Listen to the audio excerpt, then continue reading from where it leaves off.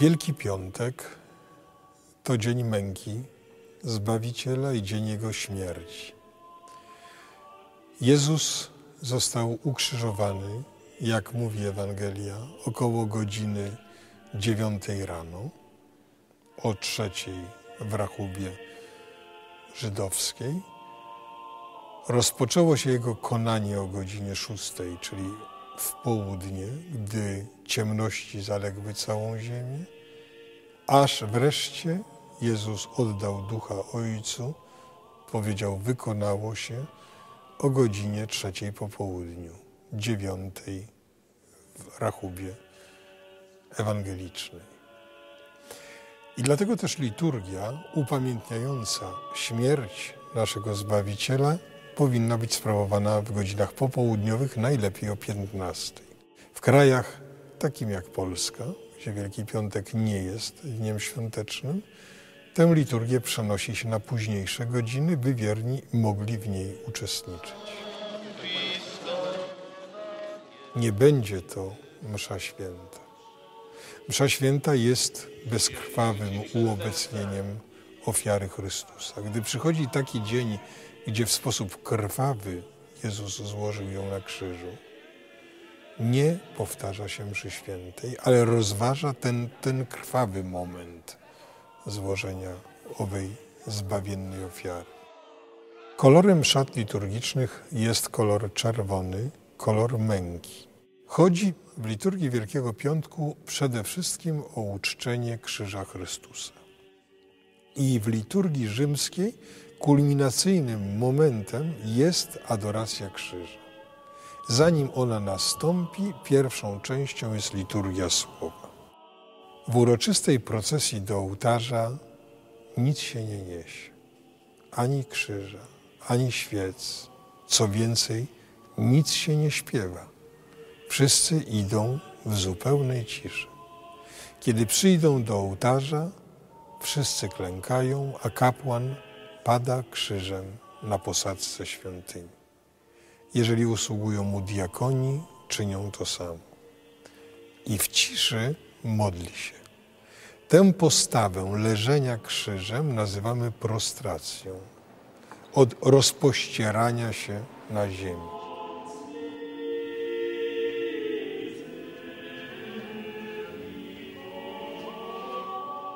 Po powstaniu z posadzki celebrans udaje się do miejsca przewodniczenia i tam odmawia modlitwę otwierającą wielkopiątkową liturgię. Gdy ją odmówi, siada, a komentator może przygotować wiernych do słuchania słów Pisma Świętego. Co roku tych samych. Najpierw proroctwo Izajasza.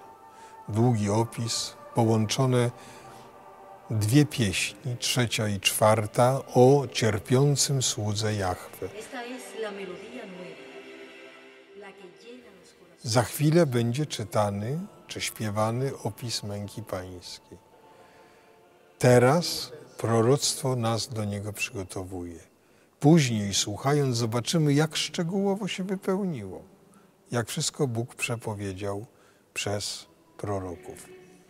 Po proroctwie Izajasza iść psalmie responsoryjnym Ojcze, w Twe ręce składam ducha mego, brzmi refren tego psalmu. Następuje krótki fragment z listu do Hebrajczyków, uświadamiający uczestnikom liturgii, że ofiara, którą złożył Jezus, to nie jest jakaś egzekucja kogoś, kto padł ofiarą, czy poniósł należną karę, ale że jest to ofiara religijna, że Jezus jest arcykapłanem tylko że nie ze zwierząt i nie na ołtarzu w świątyni jerozolimskiej, ale na krzyżu, który uczynił ołtarzem, ni z własnego ciała, on sam, a nie przez ręce jakiegoś kapłana, złożył Bogu ofiarę. I ta ofiara jest jedyną, która gładzi grzechy świata.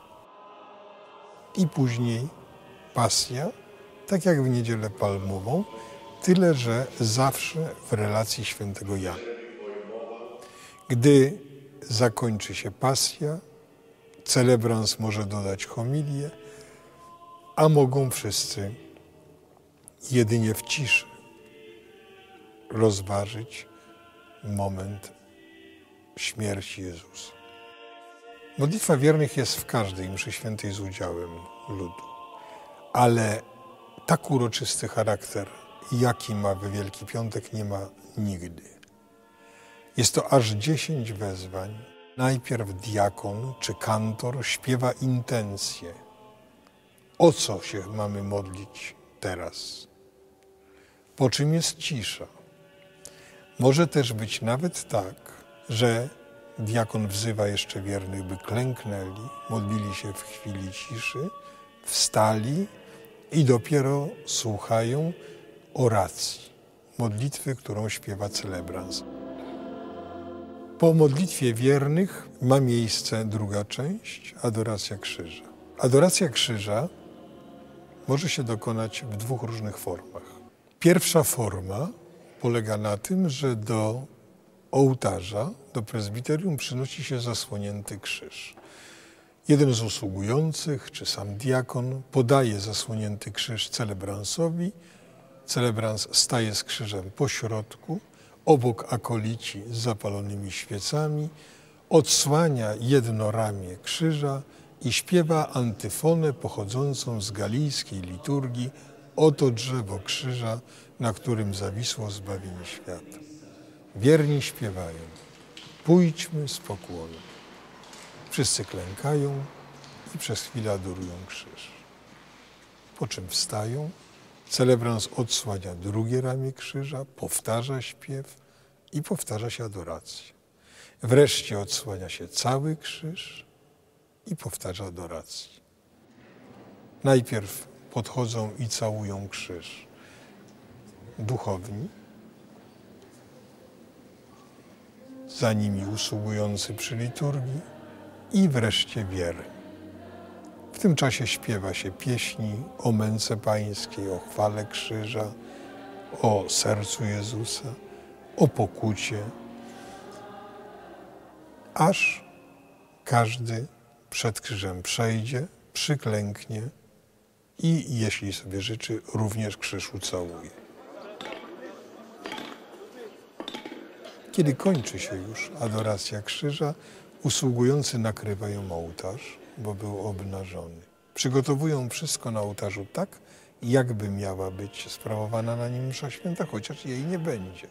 Ale będzie obrzęd komunii. Jest to komunia, która była poświęcona, konsekrowana poprzedniego dnia, stąd mówimy komunia z darów uprzednio konsekrowanych. Na ołtarzu pozostawia się tylko jedną hostię, konsekrowaną Wielki Czwartek, dużą hostię i umieszcza się ją w monstrancji. Monstrancję nakrywa białym welonem, tak jak w białe płótno owinięto ciało Chrystusa, gdy niesiono je do grobu. Po dziękczynieniu, po modlitwie zamykającej liturgię, ewentualnych ogłoszeniach, formuje się procesja do grobu. Za krzyżem idą usługujący, duchowni i kapłan niesie okrytą białym tiulem monstrancję. Po dojściu do grobu umieszcza ją w grobie pańskim, okadza i odmawia modlitwę zamykającą wielkopiątkową liturgię. W ciszy wracają do zakrystii, niektórzy wyznaczeni wracają do prezbiterium i tak jak w czwartek obnażają ołtarz. Taki obnażony ołtarz, chociaż pozostanie już w prezbiterium krzyż, będą przy nim płonące świece, taki ołtarz będziemy oglądali aż do nocy Zmartwychwstania Pańskiego. Zaczyna się druga część Świąt Wielkanocnych. Doba śmierci. Sobota jest dniem śmierci, dniem przebywania w grobie.